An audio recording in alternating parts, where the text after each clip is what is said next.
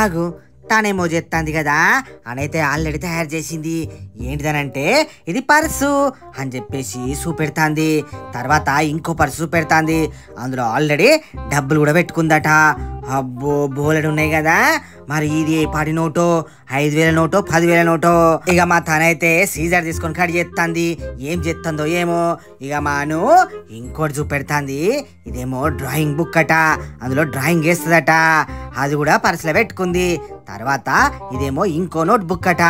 పేజీలు కూడా చేసింది కదా. మీ అందరికి తెలుసు కదా అనుకు గిసొంటి చేసుడంటే మస్త్ ఇష్టం. అసలే ఈరోజు భారత్ బంద్ ఆయే స్కూల్లో కూడా సెలవులాయే. అందుకే గిసొంటి పెట్టుకుంది. అదేమో చిన్న పర్సు సిట్టి పర్సు అట. అందులో చిన్న చిన్న బాటిల్ చేసిందట. ఇక అవన్నీ పర్సులో పెట్టుకొని బాయ్ నేను షాపింగ్ పోతున్నా అని చెప్పేసి అంటాంది. మస్తు చేసింది కదా. ఆగు అనుతానేమో చేస్తాను కదా. ఏం చేస్తాండ్రు చూద్దాం పట్టుండ్రి ఏంటి అవి అని అడిగితే అబ్బో బొమ్మ తయారు చేసిండు కదా. ఎవలాలంటే తనట. తాను కూడా ఇంకో బొమ్మ తయారు చేసింది. ఎవలంటే అని అంటాంది. మొత్తానికి అనుది తాను తనది తాను బొమ్మ బల వేసిండ్రు. బొమ్మకు టోపీ కూడా పెడతాంది. వావ్! ఇంకా తను చిన్న హ్యాండ్ బ్యాగ్ తయారు చేసింది. అగో చూసినావా? మస్తుంది కదా? ఇక అందులో వాటర్ బాటిల్ థమ్స్ అప్ పెట్టుకొని ఎటన్నా షికారుకు పోతుందట షికారుకు. ఒకసారి చూపెట్టి రాదు అంటే చూపెట్టింది. భలే ఉంది కదా? ఇక బొమ్మకు హ్యాండ్ బ్యాగ్ కూడా వేసింది. వీళ్ళ క్రియేటివిటీ మామూలుగా లేదు కదా. మరి మీరు కూడా గిసొంటి చేస్తే కింద కామెంట్ చేయండి.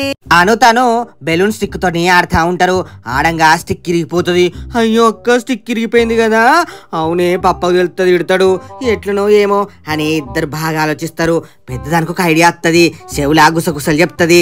సరే అనుకొని ఇక బెడ్ పైకెత్తి అందులో స్టిక్ పెట్టి మొత్తానికి ఒక మైక్ లెక్క తయారు చేస్తారు. అలా పప్పాచి చూసి ఏంది స్టిక్ ఇరగొట్టిలానంటే? లేదు పప్ప రేపు ప్రజెంటేషన్ ఉంది. ఇట్లా మైక్ లెక్క చేసుకొని ప్రాక్టీస్ చేస్తానమంటే ప్రజెంటేషన్ ఉందా? భలే చేసిండ్రు mike good good carry on carry on అని అలా పప్ప నుంచి పోతాడు. అలా పప్ప వంగనే ఏ పప్ప ఏమని లేదు అని పిల్లలు ఎగురుకుంటా దుంకుకుంటా మస్తు ఖుషి అవుతారన్నట్టు. చూసిండ్రా చేసిన తప్పును ఎట్లా తప్పించుకున్నారో పిల్లలు.